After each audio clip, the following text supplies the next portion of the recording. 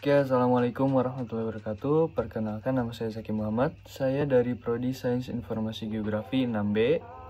Di sini saya akan men-share kepada teman-teman semua bagaimana caranya untuk membuat peta 3D dari data SRTM atau Shuttle Radar Topography Mission. Oke, untuk langkah yang pertama tentunya kita harus memiliki data SRTM-nya terlebih dahulu. Nah, untuk link downloadnya sendiri sudah saya sertakan di kolom deskripsi di bawah. Nah, di link tersebut kita tinggal memilih saja wilayah mana yang diinginkan.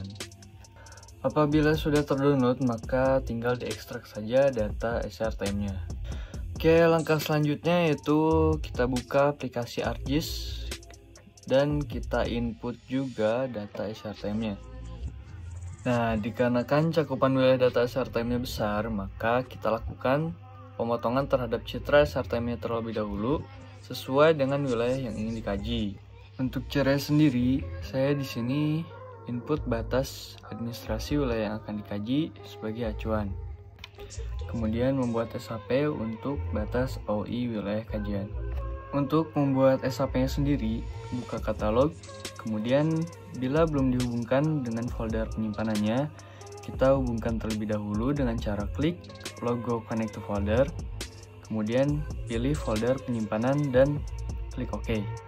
Kemudian pada folder connection kita buka, maka akan terlihat folder yang tadi telah dihubungkan.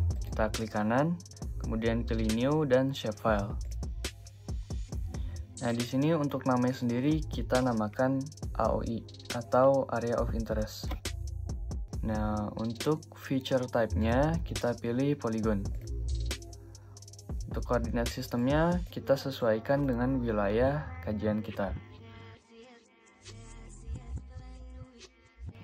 Lalu pada layer di table of contents, kita klik kanan, edit feature, dan start editing. Pada create feature, kita pilih AOI dan pilih polygon pada construction tools. Kemudian kita klik pada daerah wilayah kajian kita sebanyak 4 kali sampai membentuk persegi. Bila sudah, klik dua kali. Kemudian pada editor, kita start editing dan jangan lupa di save. Kita hollowkan terlebih dahulu.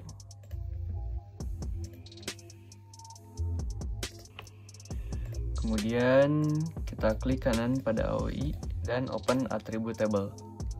Lalu klik pada angka 0 sebelah FID sampai warna poligonnya menjadi warna biru. Kita tutup. Kemudian pada bar atas terdapat Windows, kita buka dan klik Image Analysis. Nah, di sini pilih SRTM.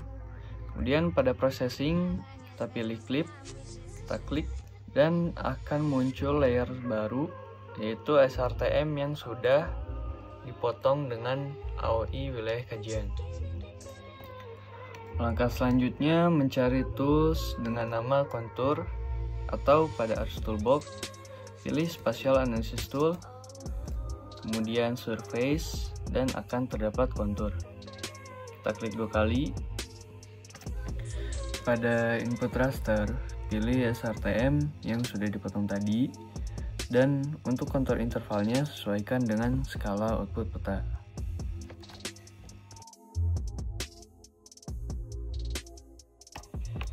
Bila prosesnya sudah selesai, maka langkah selanjutnya yaitu kita mencari tools dengan nama Creatine atau dengan membuka Ars Toolbox, kemudian 3D Analysis Tool, Data Management, tin dan akan terdapat kreatin.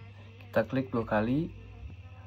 Untuk koordinat sistemnya kita sesuaikan dengan wilayah kajian masing-masing. Dan untuk input feature kelasnya kita isi dengan kontur. Kemudian klik OK dan tunggu prosesnya sampai selesai. Oke, bila sudah seperti ini, maka selanjutnya membuka aplikasi Arsin untuk melihat peta 3D-nya.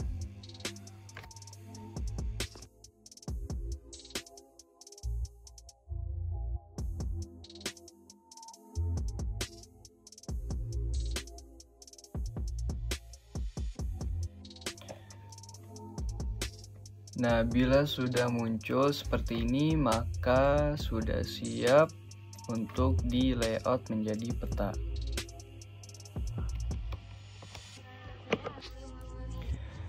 Oke, mungkin sekian sharing tutorial kali ini. Mohon maaf apabila ada kesalahan. Wassalamualaikum warahmatullahi wabarakatuh.